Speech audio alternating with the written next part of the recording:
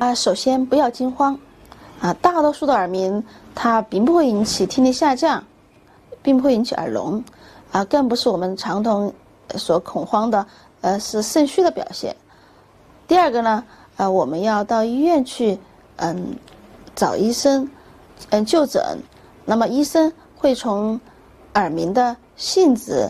嗯，还有全身的情况，以及你的心理情绪以及社会的。呃，情况呢，做一个统一的评估，那么得出呃，做一个统一寻找一定的病因，同时寻找有效的治疗方法。